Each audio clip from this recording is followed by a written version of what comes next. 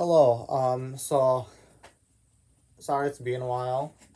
Um. I've been kind of busy. Uh. This is. Uh. I guess. Yeah. Here's the next. Mouth. Please work. Here's the next recap for D and D. The Tale of the Food Group. Uh. My only D and D campaign so far. Um. You may notice that the camera angle is a bit different. Um. I believe it or not, I've been cleaning my room, so my desk is clear. Is is more is my desk is pretty clear now. Um, me and my dad made a deal. He's he's gonna give me the spare Xbox One if I clean my room. I'm kind of close to done. So any anyway. Uh, back to D and D. Um. Uh, so Gonna remind you of our cast of characters. Um, there's Rathma, the Black Dragonborn, um, Sorcerer Warlock, Dilborth, the Dwarf, um, Cleric Druid, Faku, the Griffin Druid Sorcerer, I believe, um, Raven, the um, eh, sea elf, um, eh, sorcerer, yeah, cleric, I think it was. Yeah, he just multi- yeah, cleric. And Hagnar, the kobold rogue, who I think I'm actually gonna remove soon because he's, he's he's I'm not really using him. anyway, so started out they were going into the dark, spooky forest. They came across a cat who was just there. He's gonna he's not gonna be important for the campaign, but he's gonna appear a bunch.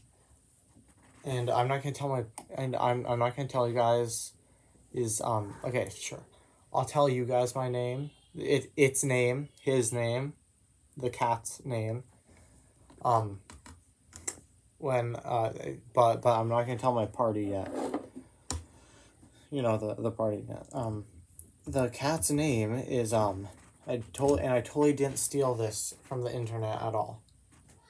And it's keep in mind this is just a perfectly normal cat. He's orange. It's just a regular orange cat. There's nothing special about him. Dave, the magical cheese wizard. That's his name. Yep. Pretty normal cat name. Um so and then they came across a wood elf who Raven tried to riz up, but I, I uh, he failed and and then um Rathma successfully rizzed up. Um, I'm not gonna say the what I'm not I'm not gonna repeat what they said because this is family friendly channel. But what Rathma said, F you, that's literally what he's. so, she, I don't think I gave her a name, you know, the wood elf. Um, she told them that the elder tree was like, it had a bunch of ettercaps, and now without the elder tree, tree's presence, the forest is turning. Okay, the elder tree it keeps evil out of the, the forest of north deepwood. So then they need to go there's ettercaps around the elder tree. You know ettercaps spider people. Um i'll just look at the picture. Uh so then with the ettercap web surrounding the tree its magic can't work.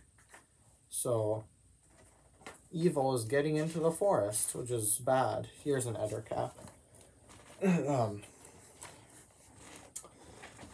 Ettercap, spider person. They're cool. I like them. Um, so then they, they, they, they went toward the, the tree. On the way there, they found two displacer beasts. You probably know what a displacer beast is because one of them was seen in the Dungeons and Dragons movie.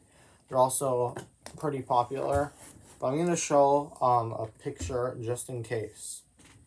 Uh oh, and coincidentally, it's on the page I just opened. Okay, that's that's nice. Displacer Beast. So they came across two of them. Then Rathma started talking to one of them. Um, the the one of them is talking to. His name was Edward, and he was a friend from high school. so I gave him some cooking advice. Um, two of what I remember is uh first, um, was it?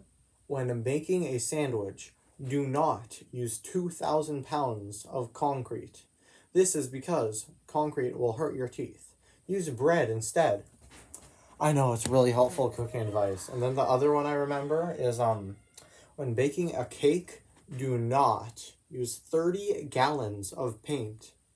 This is because paint is toxic. Use sugar instead. So that was their interaction with the displacer beasts. Then they made it to the um the elder tree. It's surrounded by ettercaps. There's big spider. They fought the spiders. Um, and because Rathma, his leg was sort of he cut off last session. Last session, um, you know, session. Yeah, the last episode. That's what I should be saying instead. Okay, last episode. You know, he sort of cut off his leg because it was caught in a bear trap. He was gifted his leg back. I also forgot to mention that the very beginning of this session, he picked up an interesting, uh, uh well, not, he picked up a rock. It's magic and very powerful. I'm not going to tell you what it does. I'll, I'll tell you, may, I'll, um, I'll tell you maybe if, like, when it gets used or something, but I'm not going to tell you what it does. It's hilarious and I love it. Oh my gosh, I really want to, I really want to reveal it but I also don't. I'm not going to reveal it. It's really good though, and it's absolutely hilarious. Um, so yeah, okay, back to the yeah. They fought the Ettercaps. He got sort of a tree leg. His leg was is is now a, a tree. He has a wooden leg, except I'm gonna say he can fully control it. Um, it does give him a vulnerability to fire, but also a um I'm gonna say resistance to cold.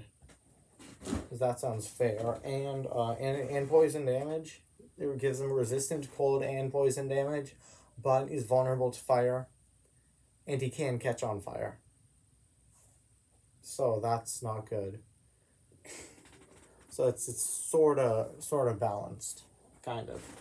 Um so then they they journeyed through the forest, and that's sort of where we left off. That was a shorter recap, but um, there was a lot of out of campaign conversation happening. I'm gonna try to have less of that happen. Um, and I oh wait okay I remember at one point Rathma went to the moon. I don't remember what why, but like yeah, anyway, um, um, like, subscribe, that's the end of the video, like, subscribe, have a good day, comment, I guess, um, bye, we're really close to 70 subs, that'd be great if we could reach that,